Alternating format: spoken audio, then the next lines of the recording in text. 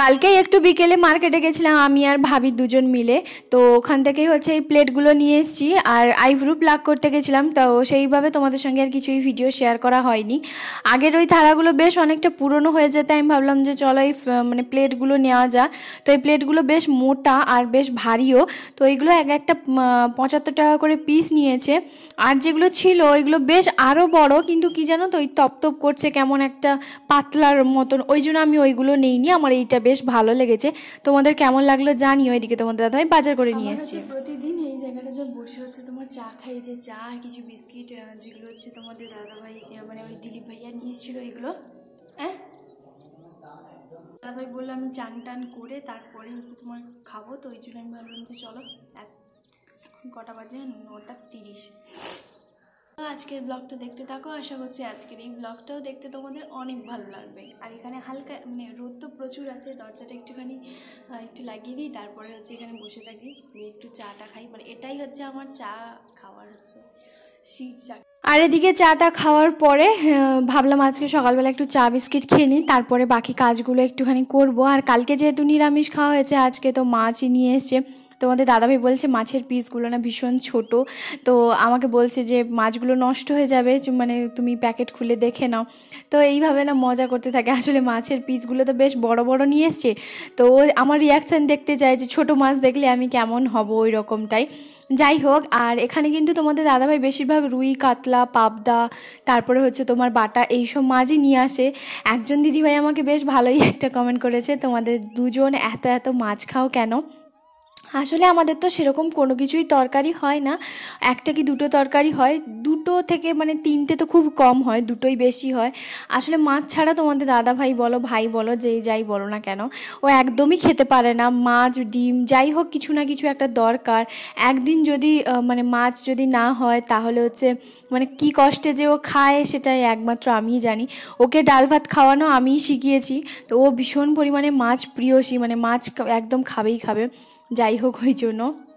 আর এদিকে তোমাদের দাদাভাই যে বাজারগুলো নিয়ে এসেছিল, তো সেখান থেকেই হচ্ছে তোমার কিছুগুলো বের করেছি।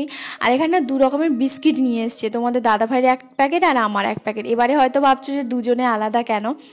আসলে কি বলতো তোমাদের দাদাভাই সকালবেলা যেহেতু খেলতে যায়, তো তো ওই জন্য গোলমাল যে চিনির যে বিস্কিটটা, সেটা খেলে ওর গাটা গুলিয়ে দিবে, এটা স্বাভাবিক সকালবেলা। তো ওই তো সেটা বলল যে চায়ের সঙ্গে বা নর্মালি এমনি খাবে। সকালবেলা যদি আমি চিনির বিস্কিটটা যদি খেয়ে যাই ভীষণ পরিমাণে হচ্ছে গাটা গুলিয়ে দেবে ওই জন্য। আর ওই জন্য ও হচ্ছে নর্মাল এই টি টাইম যে বিস্কিটটা, ওটাও ভীষণ পরিমাণে ভালোবাসে। তো সকালবেলা ওই বিস্কিটটা খেয়ে যাবে। আর চানাচুরের প্যাকেট নিয়ে এসছে, ওই এক কেজি বা পাঁচশো এরকম হবে। এক কেজি মানে বড় নিয়ে এসছে। আর এখানে পেঁয়াজ, আদা, তারপর হচ্ছে তোমার ওই ওকে একটু বলেছিলাম যে বিড়ি নিয়ে আসতে। অনেকে ওইখানকে বলে নাকি বড়িয়া মানে এরকম কি একটা বলে, যাই হোক।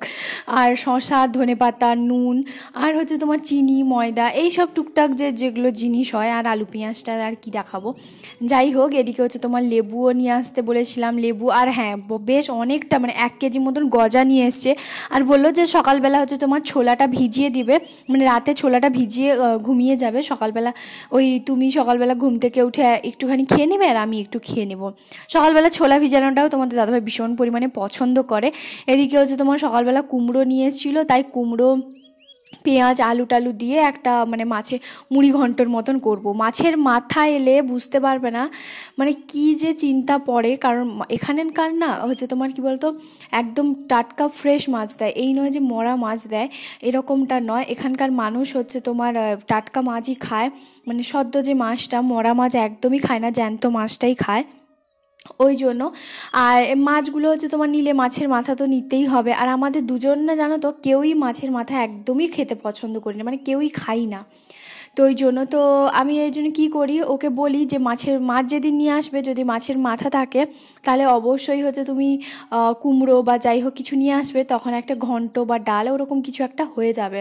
আর এদিকে জিরেটা প্রথমে একটুখানি ভেজে নিচ্ছি, একটু বেশি করেই ভাজছি। তার কারণ হচ্ছে যে শুক্তো বা এই মাছের মুড়ি ঘন্ট এইসব হলে না একটুখানি জিরেটা হচ্ছে গুঁড়ো দিলে বেশ ভালোই লাগে। আসলে জিরে পাউডার যতই বাজার থেকে কিনি না কেন, তবে ফ্রেশ যে একটা জিরে গুঁড়ো না সেটা খুবই ভালো লাগে। তো ওই জন্য শিলনোড়াতে হচ্ছে তোমার গুঁড়ো করে নিয়ে চলে এসেছি। আর এদিকে ফটাফট হচ্ছে তোমার মাছটা ভেজে নেব। আর এই মাছটা মনে হয় রুই মাছ, তো ওই জন্য। আর পাবদা মাছগুলো ভাজার সময়, বাপরে বাবা আমার এতটা পরিমাণে হচ্ছে তোমার বিরক্ত লাগে। ওই একদম ফেটে যায় ওরকমটাই। তবে রুই কাতলাটা মাছ ভাজতে ওরকমটা কোনো অসুবিধা হয় না। তবু একটুখানি ওই ঢাকনাটা দিয়ে দিলাম, কারণ তেলটা একটু চারদিকে ছড়াচ্ছিল ওই জন্য। ওই ঢাকনাটা দিয়ে দিলে কি হয়, জানলার সামনেটা হচ্ছে তোমার অতটা তেল চিটচিটে করে না। আর একজন দিদিভাই আমাকে কমেন্ট করেছিল যে, রান্না করার সময় আমি জানলাগুলো খুলে রাখতে হ্যাঁ দিদিভাই, আমি জানলাগুলো কিন্তু খুলে রাখি। সামনের, ও মাছ সামনে যে দেখতে পাচ্ছ, ফাঁকা যে একটা জায়গা, ওই সামনেটা খুলে রাখি। আর এই সামনেটা হচ্ছে কড়াইয়ের সামনে যে স্লাইডিংয়ের জানলাটা দেওয়া আছে, ওই জানলাটা যদি খুলে দিই, তাহলে কড়াইটা বন্ধ হয়ে যাবে। তাই ওই সাইডেটা পুরোটা খুলে রাখি আর ওপরের সাইডটা পুরোটা খুলে রাখি। তো আমি অবশ্যই খুলে হচ্ছে রান্না করি নাহলে একটা ভ্যাবসা গ্যাসের একটা মানে গন্ধটা বুঝতেই পারছ, তো কেমন লাগে ওই জন্য। তবে তোমার এই কমেন্টটা দেখে আমার খুবই ভালো লাগল। এদিকে আমার টুকটাক মানে মাছগুলো ভাজা হয়ে গেছে। আর লেজাটা হচ্ছে তোমাদের দাদাভাই খায় লেজাটা আমিও খাই না। ও যে খুব একটা পছন্দ করে তা নয়। ওই আমাদের দুজনে বলতে পারো চাকা, পেটি, ওই সবই দুজনের পছন্দ। তবে কি করব? গোটা মাছ নিলে সেটা যখন কেটে দিচ্ছে, চাকা, পেটি, মাছের মাথা সব কিছুই তো দেবে, তাই না? আজকে কি জানি দুটো মাছের মাথা দিয়েছে। আমি ভাবছি যে একদমই শেষ করে দেব। কারণ হচ্ছে তোমার ওই মুড়ি ঘন্টতেই হচ্ছে তোমার দিয়ে দেব। ওই রকমটাই ভাবলাম। আর না হলে ফেলে রাখলে সেই ফেলে ফেলে ফেলে পচেই যায়। মানে বেশিরভাগ সময় কিন্তু মাছের মাথা কিন্তু আমার নষ্ট হয়, সেটা তোমাদেরকে আমি আর দেখাই না। কারণ দুজনই কেউ খাই না। আমি অনেককে দেখেছি যে মাছের মাথা দেখলে একদম মানে জিভ থেকে জল পড়ে এরকমটাই। এত বড় মাছের মাথা, কি মাছের মাথা খাব? তবে সত্যি কথা বলতে আমার মাছ মানে সামনে যদি কেউ এত বড় কেন, বিশাল বড় যদি একটা মাছের মাথা নিয়েও বসে মানে আমার কোনো কিছুই রিয়াকশান নয়। নর্মালি লাগে, আমার কোনো ব্যাপার মনে হয় না। যাই হোক, এদিকে হচ্ছে তোমার ওই তেলেই হচ্ছে তোমার একটু পাঁচ ফোড়ন আর হচ্ছে তোমার শুকনো লঙ্কা আর তেজপাতা দিয়ে ভালো করে একটুখানি নাড়িয়ে তারপরে হচ্ছে তোমার ওই ডালটা আগে থেকে যে সেদ্ধ করে রেখেছিলাম মানে ডাল, কুমড়ো, ওইগুলো দিয়েই হচ্ছে তোমার এখন মানে ডালটা দিয়ে দিলাম। আর ওই ডালে হচ্ছে একটুখানি আলু দিয়েছিলাম। তারপরে আমার পুরো রান্নাটা হয়ে গেছে। আর এদিকে সবার শেষে হচ্ছে কুমড়োটা দিয়ে একটুখানি হচ্ছে তোমার ওই জিরের গুঁড়োটা সেটা দিয়ে বেশ ভালো করে কষিয়ে নামিয়ে নেব। তো খেতে তো ব্যাপকই লাগে কারণ তোমাদের দাদাভাইকে যদি এইভাবে মুড়ি ঘন্ট বা এরকম যদি সব রকম সবজি দিয়ে করি, তাহলে ও তো ভীষণ পরিমাণে পছন্দ করে। আর এই যে তারপরে হচ্ছে আমি শিলনোড়াতে হচ্ছে তোমার জিরেটা গুঁড়ো করে নিয়ে এসেছি, আর ওপর থেকে ভাই বেশ ভালো করে দিয়ে দিলে গন্ধটাও বেশ সুন্দর আসে আর খেতেও বেশ দারুণ আসে। তো ওই জন্য আর এরপরে হচ্ছে আর সেরকম কোনো কিছুই নাড়াচাড়া করব না খুব একটা, আর বেশিক্ষণও রাখব না, এরপর হচ্ছে কড়া থেকে নামিয়ে নেব।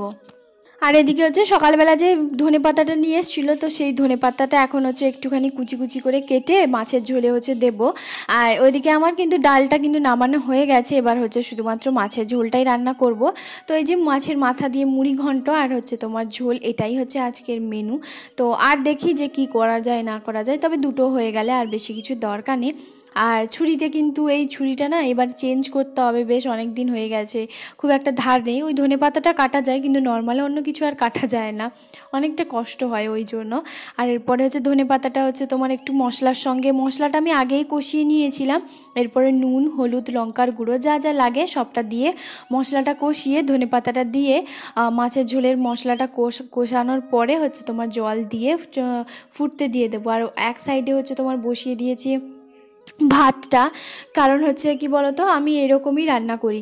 একদিকে হচ্ছে তোমার একটা রান্না হয়ে যাওয়ার পরে আর একটা যখন রান্নাটা করি, তারপরে হচ্ছে ভাতটা বসিয়ে দিলে আমার অনেকটা সুবিধে হয়ে যায়। আর ভাতটা জানো তো, একটু শীতকালের দিনে গরম গরম খেতেই ভীষণ ভালো লাগে। কারণ বারোটা সাড়ে বারোটার সময় যখন তোমাদের দাদাভাই আসে, তখন বেশ ভালোভাবে ভাতটা গরম হয়ে থাকে।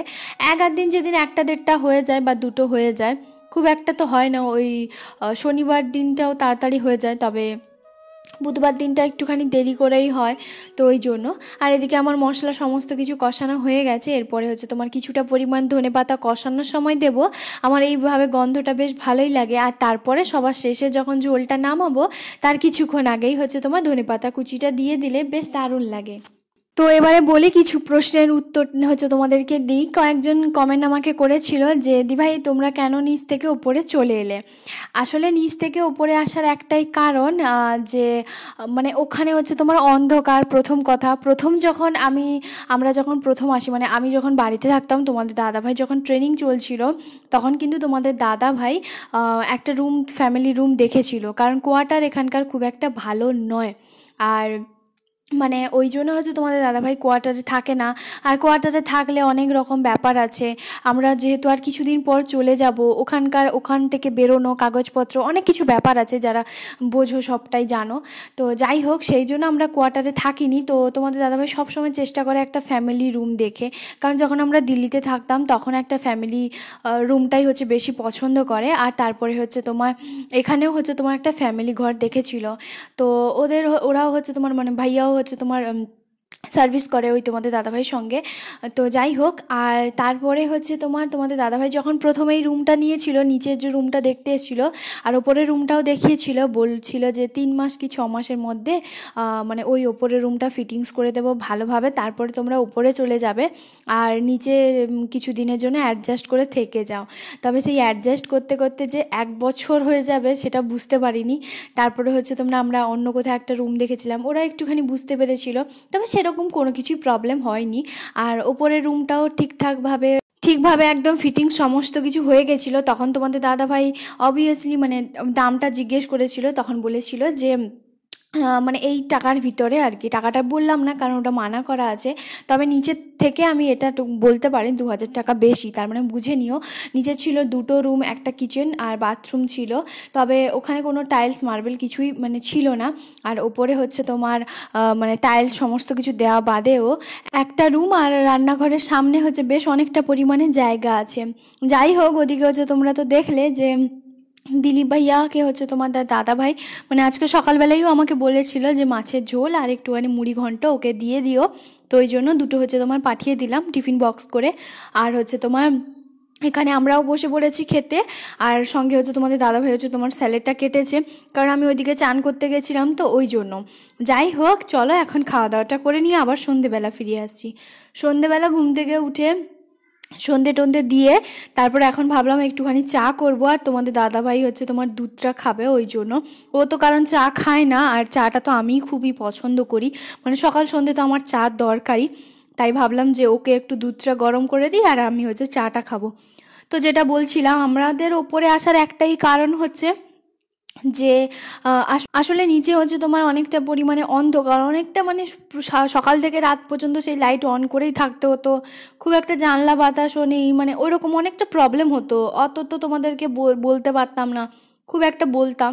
তবে এখন আর কোনো ব্যাপার নয়। তোমাদের দাদাভাই সব সময়ের জন্য বলতো। আমি আগেও তোমাদেরকে ভিডিওতে বলেছি, যখনই তোমাদের দাদাভাই ছাদে আসতো, তখনই বলতো যে ওপরের রুমটা চলে এলে আমরা অনেক ভালো, কবে যে ফিটিংস করবে, কবে যে করবে বা আমার মুখ থেকেও তোমরা শুনেছো, কারণ প্রথম থেকে আমাদের এই রুমটাই পছন্দ ছিল।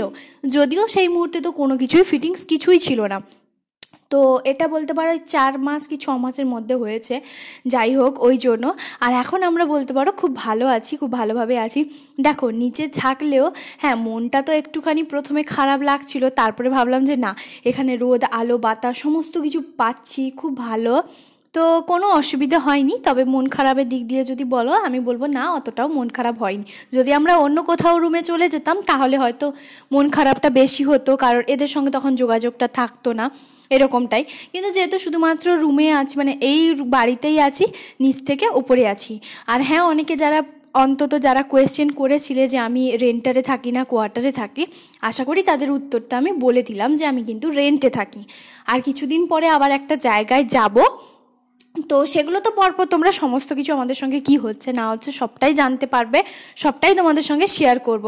সকালবেলা যে চিনিটা নিয়ে এসেছিলাম সেই চিনিটার কৌটোর মধ্যে হচ্ছে ঢালা হয়নি, তো এখন ভাবলাম যে চা করব, তো চা করতে এসেছি যখন চিনিটা ঢেলে দিই, আর এদিকে হচ্ছে আমার চাটা হয়ে গেছে, আর তোমাদের দাদাভাইকে কিন্তু ওদিকে আমি দুধটাও দিয়ে দিয়েছি তো ওদিকে দুধটা খাচ্ছে, পরেই হচ্ছে আমি চাটা করে এখন বসে দুজন মিলে গল্প করতে করতে খানিকটা সময় কাটাবো, এখন হচ্ছে খেয়ে নেব।